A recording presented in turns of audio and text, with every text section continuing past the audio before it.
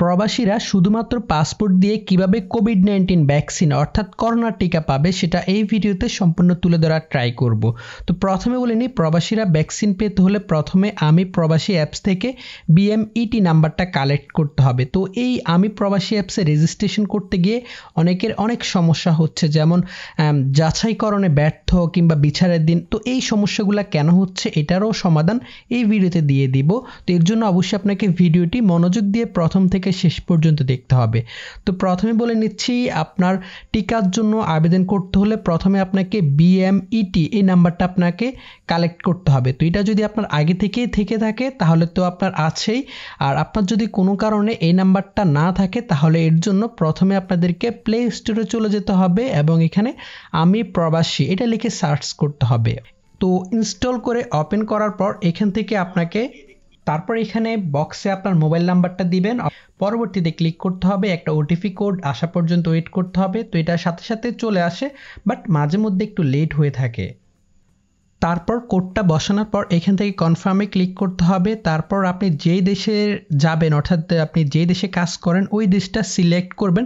সাথে আরও দুইটা দেশ সিলেক্ট করে দিবেন। অর্থাৎ সাপোজ আপনি মালয়েশিয়া হলে প্রথমে মালয়েশিয়া দিবেন, সাথে আরও যে কোনো দুইটা দেশ সিলেক্ট করে দিবেন, যেহেতু এখানে তিনটা দেশে সিলেক্ট করতে হবে মিনিমাম তো তারপর পরবর্তীতে ক্লিক করবেন। তারপর হচ্ছে এখানে শ্রমিক হলে শ্রমিক ড্রাইভার হলে ড্রাইভার অর্থাৎ আপনি যেটা, সেটা একটা সিলেক্ট করে এখান থেকে আবার পরবর্তীতে ক্লিক করতে হবে। তো তারপরে এখানের এই ফর্মটা ফিল আপ করতে হবে। লেখাগুলো পড়ে আপনি ফিল আপ করে দিবেন। যেমন হচ্ছে আপনার কি বিএমএটি স্মার্ট কার্ড আছে? অবশ্যই না। না থাকলে নাতে ক্লিক করে দিবেন। তো এইভাবে আপনি পড়ে ফিল আপ করে এখান থেকে সিম্পলি সম্পন্নতে ক্লিক করবেন। তো তারপর এখান থেকে ঠিক আছেতে ক্লিক করতে হবে। তারপর হচ্ছে পাসপোর্ট স্ক্যান করুন। এটাতে ক্লিক করতে হবে। এটাতে ক্লিক করার পর এখান থেকে গ্যালারি এবং ক্যামেরা তো সবচেয়ে ভালো ওয়ে হচ্ছে আপনাদেরকে ক্যামেরাতে ক্লিক করতে হবে।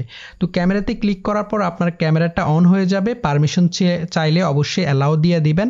তো এই ক্ষেত্রে আপনার পাসপোর্টের যে পেজে আপনার ছবি, অর্থাৎ আপনার ছবিযুক্ত যে পেজটা আছে, ওই জাস্ট ওই পেজের একটা ছবি তুলতে হবে। ক্লিয়ার করে আপনার ক্যামেরা যাতে ক্লিয়ার থাকে এবং ওই ওই পেজের লেখাগুলো, বিশেষ করে আপনার পাসপোর্ট নাম্বার নাম ডিটেলসগুলো যাতে ক্লিয়ার থাকে। ক্লিয়ার থাকার পর অর্থাৎ আপনি একটা ছবি তুলবেন, ছবি তোলার পর সাবমিট দিয়ে দিবেন।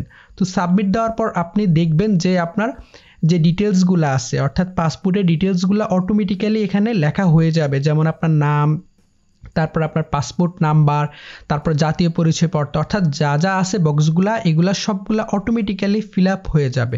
যদি কোনো কারণে দেখেন যে আপনার নামের বক্সটা ফিল আপ হয় নাই কিংবা পাসপোর্ট নাম্বার আসে নাই মানে কিছু বক্স পূরণ হয়েছে, কিছু বক্স আসে নাই। তাহলে সেই ক্ষেত্রে বুঝবেন আপনার পাসপোর্টটি স্ক্যান করা হয় নাই। আর স্ক্যান যদি না করা হয়, তাহলে আপনার অ্যাপ্লাই অ্যাপ্লিকেশন সাকসেসফুল হবে না। তো এরকম হলে আপনি কেটে দিয়ে পুনরায় আবার ক্যামেরাতে ক্লিক করে আবার পুনরায় স্ক্যান করে নেবেন। যতক্ষণ পর্যন্ত না এরকম সবগুলা ফিল আপ হয়। তো যাই হোক, আমি আমার সেফটির জন্য এখানে ডিটেলসগুলা অর্থাৎ পাসপোর্টের কোনো ডিটেলস আপনাদেরকে দেখাচ্ছি না হাইড করে রাখলাম। তো তারপর এখান থেকে হচ্ছে আপনি সবগুলো অটো ফিল আপ হয়ে যাওয়ার পর এখানে হচ্ছে জন্মস্থান। জন্মস্থানটা জাস্ট আপনি ম্যানুয়ালি আপনার যে জেলা সেটা সিলেক্ট করে দিবেন।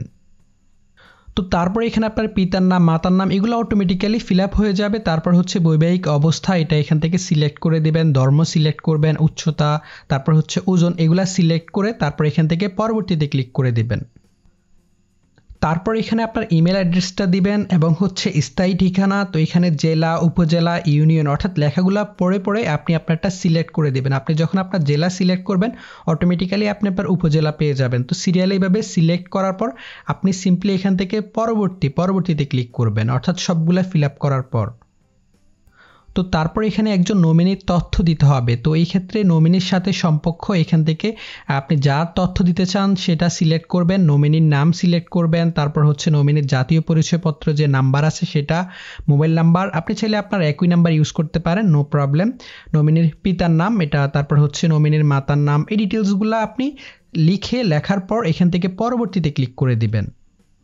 তো তারপরে হচ্ছে শিক্ষাগত যোগ্যতার বিবরণ। তো এই ক্ষেত্রে বলে রাখি, এখানে প্রতিটা বক্সের উপরে কিন্তু বাংলাতে লিখে আছে। আপনি আপনার লেখাগুলো পড়ে পড়ে জাস্ট ফিল আপ করে দেবেন। তো আপনার যদি শিক্ষাগত যোগ্যতা না থাকে, তাহলে জাস্ট এখান থেকে আপনি প্রাথমিক শিক্ষা সিলেক্ট করবেন আর সাল একটা আপনার মন মতো একটা দিয়ে দিবেন স্কুলে একটা দিয়ে দিবেন, তারপর বোর্ড একটা দিয়ে দিবেন। তো তারপর হচ্ছে বিষয়, তারপর গ্রেড গ্রেড বা ডিভিশন এখানে জাস্ট পিএ ডাবল এস এরকম একটা দিয়ে দিবেন আপনার ইচ্ছে মতো। তারপর এখান থেকে হচ্ছে পরবর্তী, পরবর্তীতে ক্লিক করে দিবেন।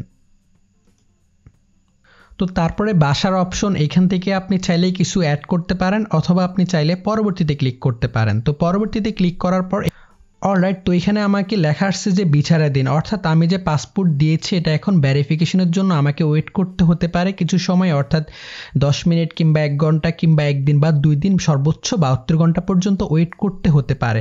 তো যাই হোক, আমি ওয়েট করতেছি, দেখি কি হয়।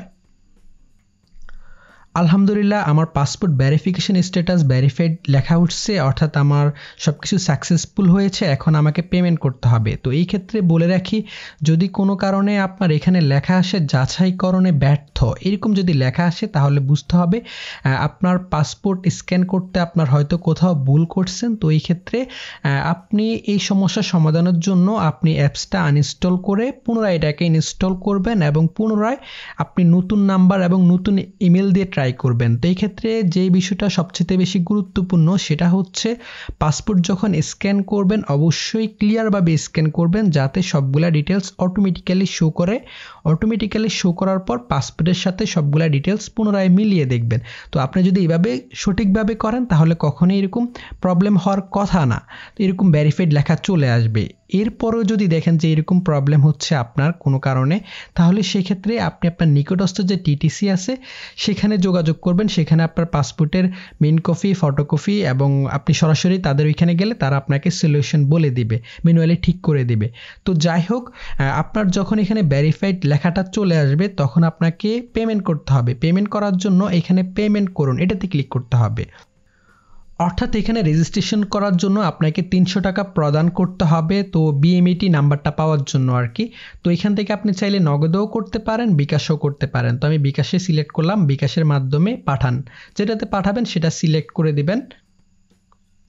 অলরাইট তারপর এখানে বক্সে আপনার বিকাশ অ্যাকাউন্টের নাম্বারটা দিতে হবে। দেওয়ার পরে কনফার্মে ক্লিক করতে হবে। দেন আপনার ফোন নাম্বার একটা ওটিপি কোড যাবে। ওই কোডটা এখানে বসাতে হবে।